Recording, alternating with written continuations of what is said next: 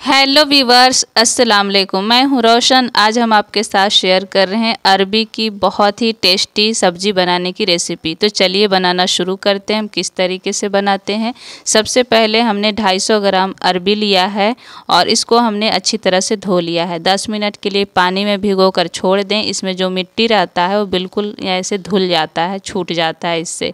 तो इसको फिर से हम पानी इसके ऊपर डालते हैं और ऐसे पानी में डिप करके, धो करके अच्छी तरह से इसको हम कुकर में डालते हैं। तो ऐसे बहुत अच्छा से साफ़ हो जाता है। तो देख पा रहे होंगे कितना अच्छा से ये साफ़ है। तो ऐसे हमने कुकर में डाल दिया है और इसके ऊपर तक हम पानी डालेंगे और दो आलू हम बॉयल कर रहे हैं, इसको ज़रूरत था इस वजह से और इसको हम तीन सीटी लगा देते हैं।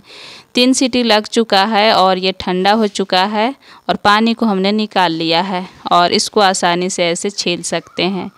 तो ऐसे देख रहे हैं कितना अच्छा से ये छिल जा रहा है। तो सभी को हम छिल करके, छिलके को निकाल लेते हैं, साफ़ कर लेते हैं और बहुत आसानी से ये साफ़ हो जाता है।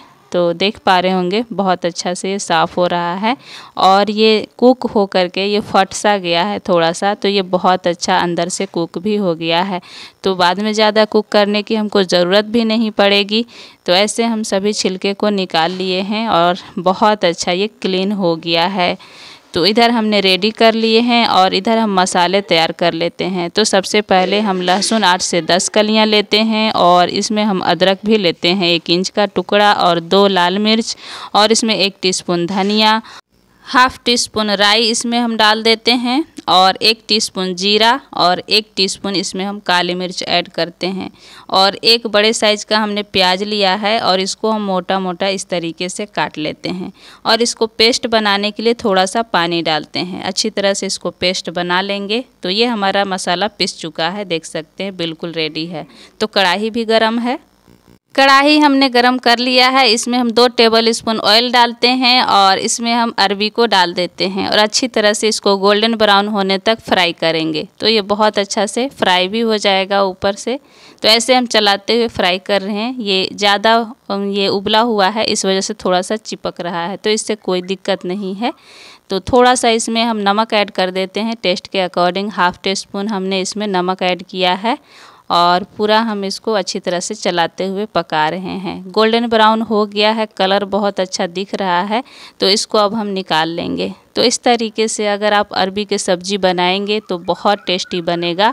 आप मेरे तरीके से ज़रूर ट्राई कीजिए और आप किस तरीके से बनाते हैं वो भी हमें कमेंट करके ज़रूर बताइए। तो अब हम इसको निकाल लेते हैं और ये देख पा रहे होंगे, बहुत अच्छा इसका कलर भी दिख रहा है। तो ये हमने निकाल लिया है और कितना अच्छा कलर इसका दिख रहा है, बहुत अच्छा। ऐसे भी इसे खा सकते हैं, बहुत टेस्टी लगता है।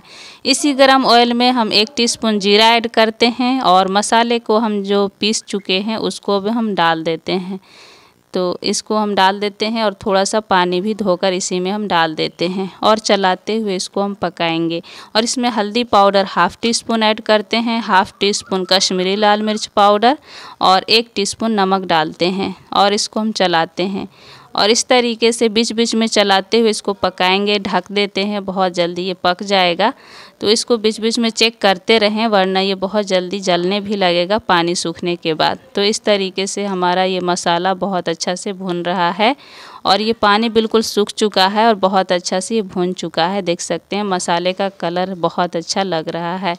तो अब हम अरबी को डाल देते हैं, जो हमने फ्राई करके रखे हुए हैं, और इसी में हम मिला लेते हैं, और मिलाने के बाद इसमें हम पानी ऐड करेंगे।